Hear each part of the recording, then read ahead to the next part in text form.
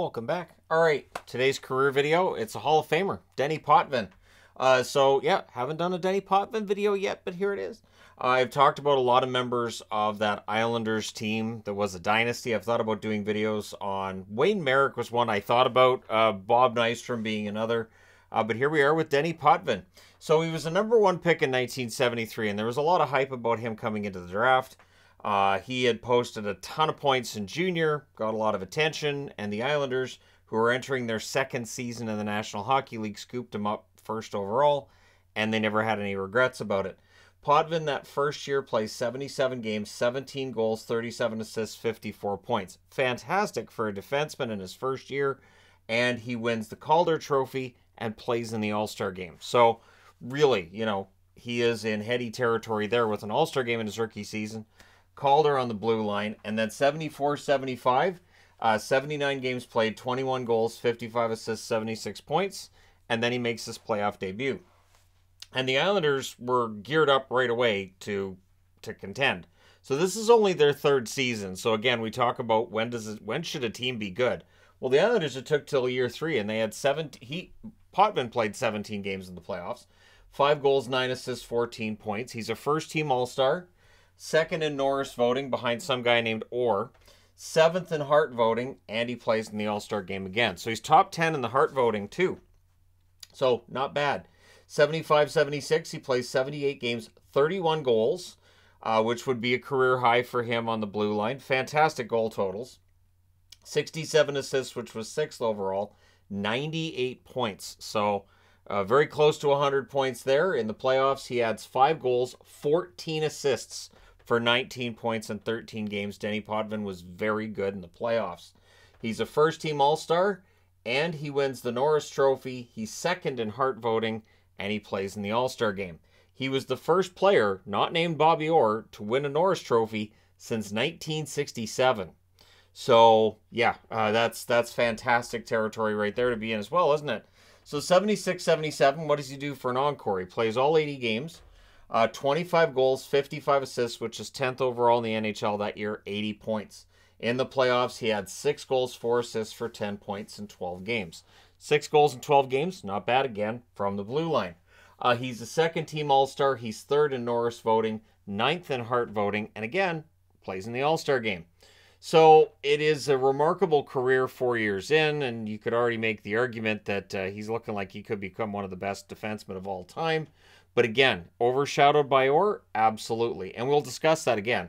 Uh, so 77 78, 80 games played, 30 goals, 64 assists, which is fifth overall, uh, 94 points, also fifth overall in the NHL that year. In the playoffs, seven games, two goals, two assists, four points, first team All Star. Norris winner again, uh, seventh in Hart voting, and he plays in the All Star game. So again, Potvin just continues to put up ridiculous numbers. Uh, 78 79, he had a career year. 73 games, 31 goals, so he ties his career high from a few years earlier. 70 assists, which is fifth overall. 101 points, which is seventh overall in the NHL. So, absolutely just awesome numbers. Just Potvin, one of the best. In the playoffs, he had four goals, seven assists for 11 points in 10 games. Uh, first team All Star, yep. Norris Trophy, yes. And that would be his final Norris Trophy. Uh, and he's fourth in Hart voting. So top 10 in Hart voting multiple years. I don't know with a defenseman that we see that very often, but again, he was kind of overshadowed by this guy named Orr throughout parts of uh, of that run.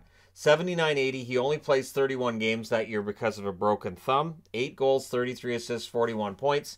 In the playoffs, well, after getting Butch Goring and with the team that the Islanders have put together, they were going to go on some runs here. They win their first Stanley Cup of what would be four in a row.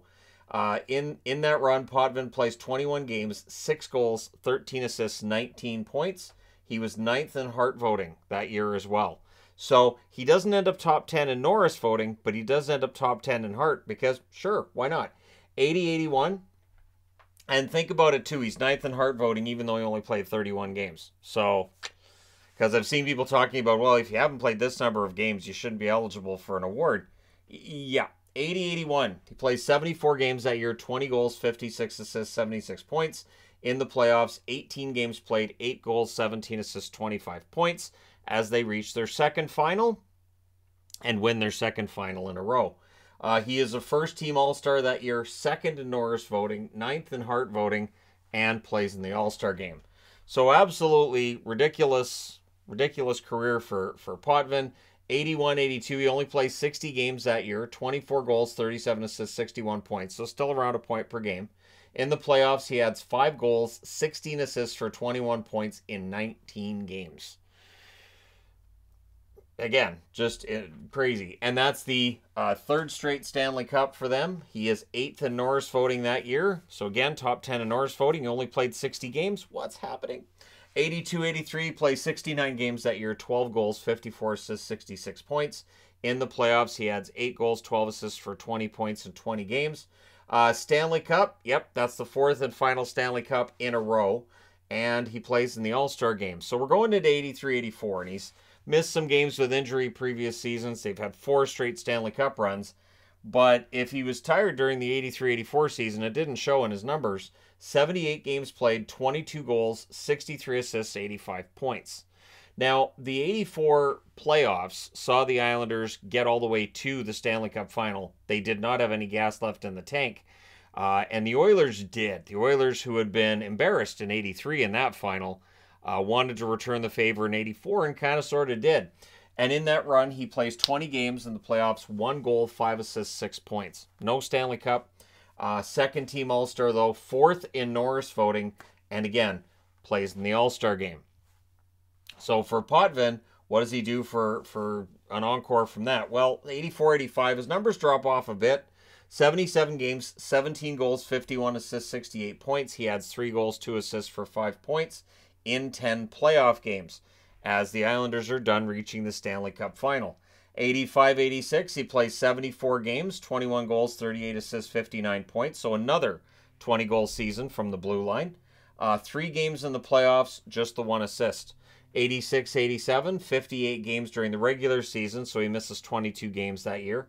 12 goals, 30 assists, 42 points. And in the playoffs, two goals, two assists for four points in 10 games. 87 88 turns out to be his final season. Uh, 72 games played that year, 19 goals, 32 assists, 51 points. In the playoffs, he adds a goal and four assists for five points in five games. He was 10th in Norris voting that year, and he played in the All Star game. This would be his final year. He retired young because he didn't want to be hanging around too long. Uh, he didn't want to be one of these guys who's, you know, in his early 40s and teams just aren't signing him anymore. So he ends up playing a grand total of 1,060 games in his career, 310 goals. And when he retired, he was the number one goal scorer on the blue line all time. 742 assists, which was 40, which is 49th overall, and 1,052 points, which is 76th overall on the all-time list. In the playoffs, 185 games played, so that's more than two seasons added on with playoffs. 56 goals, 108 assists, 164 points. He was, of course, named to the 100 greatest players in NHL history when they had that uh, 100 players at the NHL's 100 year mark. Uh, and again, first to win Norris Trophy, not named no, not named Orr since '67, and then in '76 he he ruffled some feathers a bit. So Bobby Orr had quite the tournament in the 1976 Canada Cup, despite the fact that he was on one leg. Uh, Potvin wrote after he felt that he should have been the MVP for that tournament. And and this is where we talk about ego in sports. I don't think ego is a bad thing. I think you should envision yourself as being the best. I think you should uh, strive for more and shouldn't accept just being second fiddle to anybody else. Now, when Potvin retired, he did say that Bobby Orr was the equivalent of the Beatles, and the other defensemen just any other band that was trying to play when the Beatles, meaning the he was the absolute greatest and everybody else was just trying to get some attention during that era. Bobby Orr also talked up Denis Potvin and his retirement was very nice about him as well. Uh, now, for Potvin, he did become the team captain for the Islanders during the summer of 79. Uh, going into the 79 80 season, everything that the Islanders set up worked. Uh, whether it's the Goring trade, whether it's making Potvin captain, any of the drafting they were doing during the late 70s to set everything up, it set up the greatest dynasty I've watched in my time watching hockey. Uh, the the Islanders 80 through 83, they were just virtually unstoppable. And while the Oilers did win five cups in seven years, and that was a fantastic performance, there was always something there was always this feeling of danger with the Oilers and it might have been the fact that the defense wasn't always the greatest and there was always this feeling that maybe they could get knocked off the Islanders between 80 and 83 I never really had any doubt about the Islanders in any given season uh, from 81 through 83 again 79 80 I, I watched a little bit of hockey here and there but I was very young and didn't pay nearly as much attention as I would in the years following uh, he was the first defenseman in NHL history to reach 1,000 points. Of course, he's been joined by a bunch of other defensemen, but when he retired, he was the number one point producing defenseman of all time. Uh, the Islanders retired his number March 31st of 1988. So once they knew he was retiring, uh, his number got retired. Nobody would wear the number five again. Anyways, even if they hadn't retired it. Uh, the Hockey Hall of Fame inducted him in 1991, so as soon as he was eligible. Uh, he did win bronze at the World Championship in 1986, and that was on top of winning the Canada Cup in 1976. Uh, and then then we get into, and I had to mention it here because anytime I talk about Potvin, there's going to be Ranger fans, um, and the fact that Ranger fans would chant that Potvin sucks. Um, and that dates back to an injury that was suffered by Ulf, Ulf Nilsson. I almost said Ulf Samuelsson. Ulf Nilsson uh, in 1979. Potvin kind of I, I want I don't want to say took a run at him. I know Ranger fans would see it that way, but the way Ulf Nilsson put it was that the Madison Square Garden ice wasn't great because there were always events coming in and there was basketball and he his foot got kind of cut caught in a rut in the ice. And while his foot was caught uh, Potvin just slammed him. And so yeah uh, he was in a vulnerable position and and Potvin put him out for months. So Ranger fans decided that Potvin was public enemy number one, which continued right up until his retirement. Uh, he was not popular with Ranger fans, but I mean, hey, you know that's the way that works. That's the way it is in hockey. One thing that I, I've I've been noticing in playoffs, especially you know now that I've got the channel and everything, is that in any given series you'll see fans complaining about one player. This player's dirty, this player's dirty, and then that that dirty player moves on to the next round. And that next fan base that's against that dirty player probably doesn't mention it at all, and there's no incident. So uh, for Potvin, I didn't see anything else in his career file that would be at all along the lines of dirty plays. He did have more than a penalty minute per game. He retired with about 1,300 penalty minutes. Uh, he could drop the gloves if he needed to, uh, but that was kind of standard uh, with the Islanders. Uh, the Islanders could beat you any way that you saw fit. Uh, they could score, they could play defense, they had great goaltending, and if you wanted to drop the gloves, the Islanders were more than happy to oblige. Potvin didn't shy away from that either. So, really solid all around defenseman, arguably one of the best all around defensemen in the history of the National Hockey League. Uh, physical, everything you would want, Potvin had it. But let me know your thoughts in the comment section below as always.